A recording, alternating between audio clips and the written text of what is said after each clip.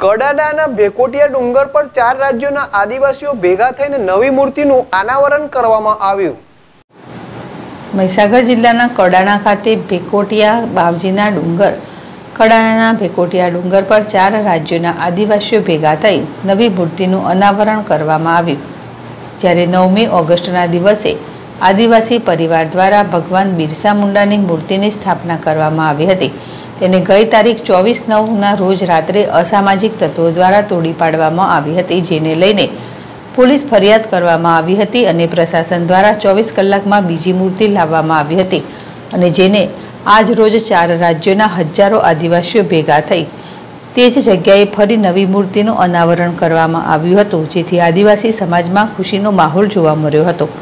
છતાં જેમણે મૂર્તિ તોડી, તેને પ્રશાસન હજુ સુધી શોધી ન શકવાના કારણે આદિવાસી નારાજ અને ઉગ્રતા તરફ જઈ રહ્યા છે. અને જો થોડા સમયમાં આવા અસામાજિક તત્વોને પકડવામાં નહીં આવે, તો આવનારા દિવસોમાં ઉગ્ર આંદોલન કરશે એવી ચીમકી ઉચ્ચારવામાં આવી હતી. ભવન બારિયા, જડેશ ટીવી, મહીસાગર.